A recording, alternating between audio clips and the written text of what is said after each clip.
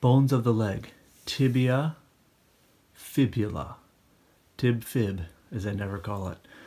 Uh, these are the bones of your leg, and the way that I have it set up here, your knee would be here. This is the superior end. Your feet would be down here. This is the inferior end. So you can see how they articulate together. You'll notice, of course, there are two of them. So if you think back to bones of your arm, we have one bone in our arm and two bones in our forearm.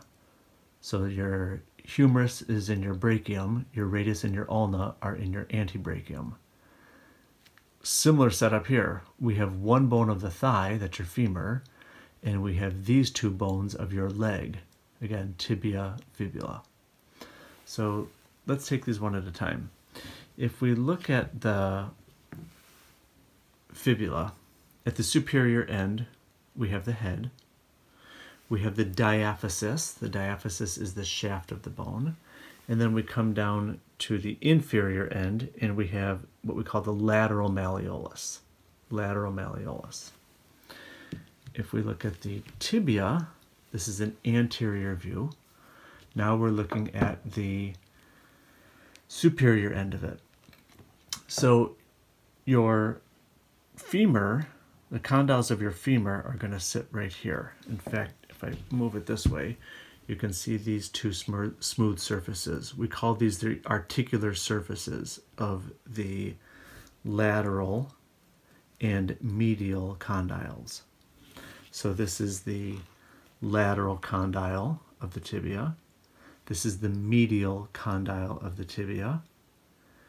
And this bump right here, see if I can get a little closer here, this bump right here, that's your tibial tuberosity.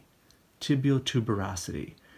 If you're seated right now and you feel your patella, your kneecap, okay, go ahead and palpate your kneecap. This is not your kneecap. Go down a little bit further and you'll feel a bump right here.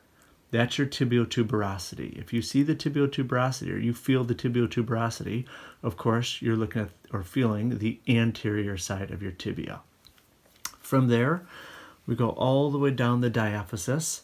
You'll feel this sharp anterior crest, even if you palpate it on yourself. That sharp anterior crest comes all the way down and it brings us to the lower portion, the inferior portion, and this is what we call the medial malleolus, the medial malleolus.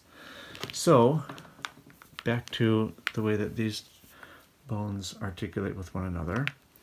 If I show you the inferior end of this, the inferior end, so the end by your ankle or by your foot, your foot is going to be sitting right here.